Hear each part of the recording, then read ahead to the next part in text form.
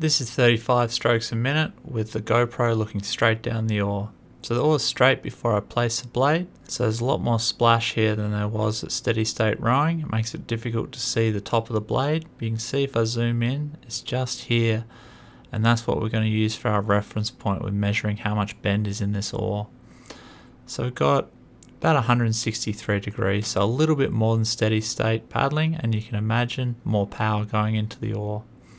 So this is a square off, 161 degrees. So put more power in again. And so through that first part of the stroke, we're building up elastic energy and you can see it all starts to release past the square off position. So fully loaded here. And as it progresses, it starts to straighten out until it becomes fully straight just as the blade's exiting the water.